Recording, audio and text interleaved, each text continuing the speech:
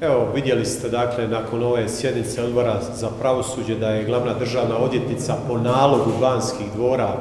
došla ovdje peglati situaciju koja je za vladajuće bila jako neugodna. Vidjeli ste da vladajući nisu postavili ni jedno pitanje, jedini koji je nešto kratko govorio je e, Katičić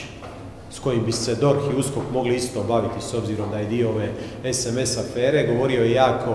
kratko, bilo bi bolje da i on nije govorio jer je izrekao niz e, gluposti, a što se tiče samog e, iskaza glavne državne odvjetnice, sad vam je jasno da ovaj odlazak Vanje Marušić, dakle da mi do dan danas ne znamo zašto je ona otišla, da se, da se glavna državna odvjetnica ne može ni sama sa sobom dogovoriti je, je li otišla zbog osobnih razloga, je li otišla jer e, je prekršen poslovnik jer nije obavijestila nju i ministra pravosuđa, e, tako da je ovo samo dodatno, iako je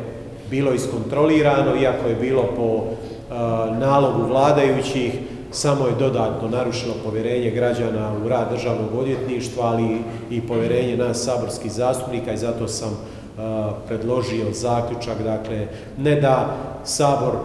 odnosno odbor za pravosuđe nešto predlaže vladi, nego da obveže vladu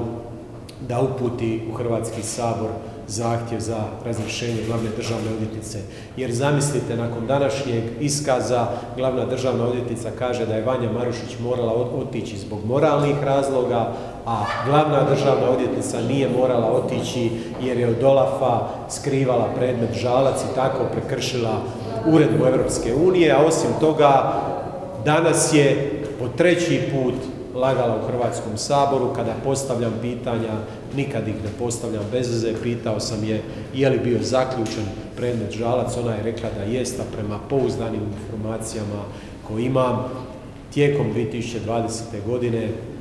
USKOK je slao dopise državnim institucijama i dalje se bavio predmetom žalac. Tako da sva vjerodostojnost glavne državne odvjetnice, ako je uopće išta od te vjerodostojnosti, ostalo je danas nepovratno izgubljeno i hrvatska javnost, hrvatski građani, a i hrvatski zastupnici nemaju povjerenja u rad državnog odvjetništva i glavne državne odvjetnice.